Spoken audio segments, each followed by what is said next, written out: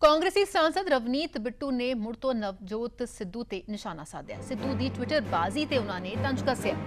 ਸੋ ਕਾਂਗਰਸੀ ਸਾਂਸਦ ਰਵਨੀਤ ਬਿੱਟੂ ਇੱਕ ਵਾਰ ਫੇਰ ਤੋਂ ਤੰਜ ਕੱਸਦੇ ਨਜ਼ਰ ਆਏ ਨੇ। ਨਵਜੋਤ ਸਿੱਧੂ ਤੇ ਨਵਜੋਤ ਸਿੱਧੂ ਦੀ ਟਵਿੱਟਰ ਬਾਜ਼ੀ ਤੇ ਉਹਨਾਂ ਨੇ ਤੰਜ ਕੱਸਦਿਆਂ ਕਿਹਾ ਕਿ ਕਾਂਗਰਸ ਪ੍ਰਧਾਨ ਹੁੰਦਿਆਂ ਤੁਸੀਂ ਬਦਲਾ ਲਿਆ ਸਕਦੇ ਹੋ।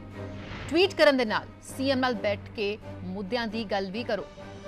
ਸੋ ਇਹ ਜਿਸ ਤਰ੍ਹਾਂ ਦੇ ਨਾਲ ਤੰਜ ਜਿਹੜਾ ਹੈ ਰਵਨੀਤ ਬਿੱਟੂ ਨੇ ਕੱਸਿਆ ਨਵਜੋਤ ਸਿੱਧੂ ਤੇ। ਇਸ ਤੋਂ ਪਹਿਲਾਂ ਵੀ ਖੁੱਲ ਕੇ ਉਹ ਨਵਜੋਤ ਸਿੱਧੂ ਦੇ ਤੌਰ ਤਰੀਕਿਆਂ ਨੂੰ ਲੈ ਕੇ ਸਵਾਲ ਚੁੱਕਦੇ ਆਏ ਨੇ। ਸੋ ਇੱਕ ਵਾਰ ਫਿਰ ਤੋਂ ਸਿੱਧੂ ਦੀ ਟਵਿੱਟਰ ਬਾਜ਼ੀ ਤੇ ਤੰਜ ਕੱਸਿਆ ਤੇ ਉਹਨਾਂ ਕਿਹਾ ਕਿ ਕਾਂਗਰਸ ਪ੍ਰਧਾਨ ਹੁੰਦੇ ਤੁਸੀਂ ਬਦਲਾ ਲਿਆ ਸਕਦੇ ਹੋ।